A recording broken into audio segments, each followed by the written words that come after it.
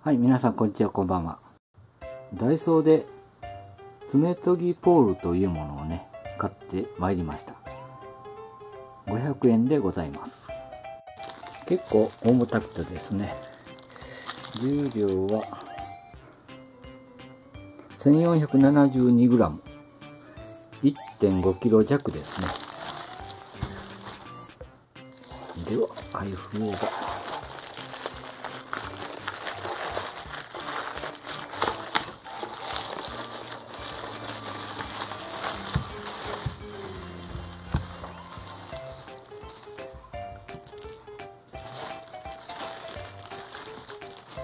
部品としてはこの3点でございます。こんな感じです。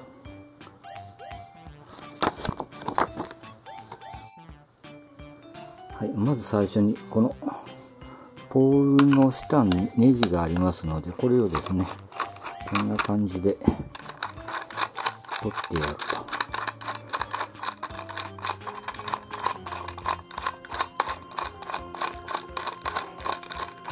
結構長いビスのですのでね。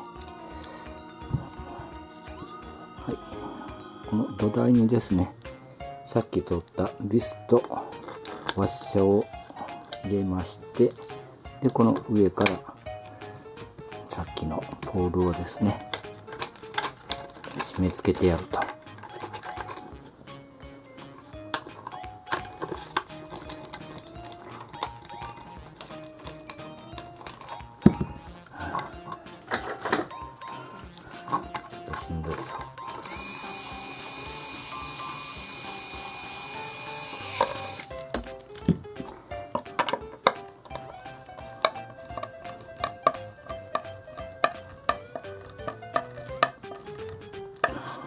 はい、こんな感じでございます。はい、次にですね、このネジを保護していたキャップを取り外しましてこの一番最上階のこのポールをですねこれにねじ込んでやると。いうだけのものでございます。よいしょこれで OK でございます。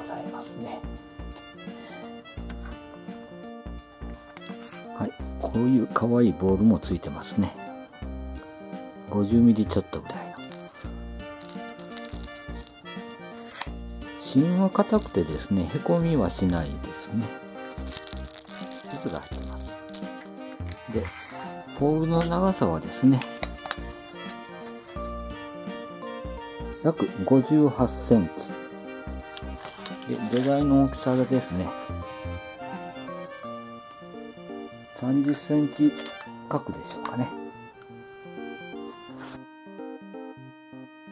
で、ポールの直径がえー、77ミリぐらいそこそこねしっかり立っております